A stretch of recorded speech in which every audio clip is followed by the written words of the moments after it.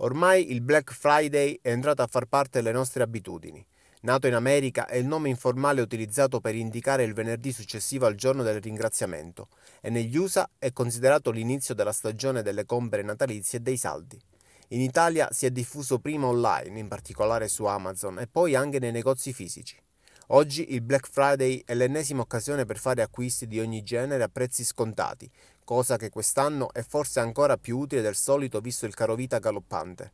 Tuttavia, come tutte le iniziative di shopping con forti sconti su larga scala, anche il Black Friday può diventare un'occasione per mettere a segno delle truffe o più semplicemente per vendere degli scarti di magazzino facendoli passare per merce nuova.